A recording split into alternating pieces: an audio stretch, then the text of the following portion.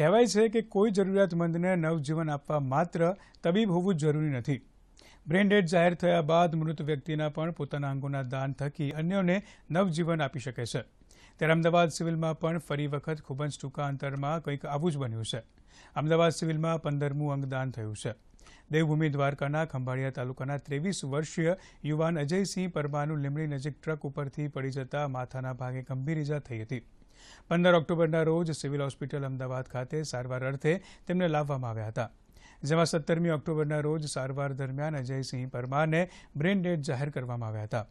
Civil હોસ્પિટલની SO double ટીટીઓની team દ્વારા અજયસિંહના પરિવારજનોને અંગદાન માટેની સમજણ આપતા તેમના પરિવારજનોએ અજયસિંહ અંગેના દાન થકી જરૂરિયાતમંદોને અમરત્વ પ્રદાન કરવા માટે સંમતિ દર્શાવી હતી. આમ અજયભાઈની બે કિડની અને એક લીવર મેળવવામાં સફળતા મળી હતી, જેને ટૂંક સમયમાં જ જરૂરિયાતમંદ દર્દીઓમાં પ્રત્યારોપણ કરવામાં આવશે.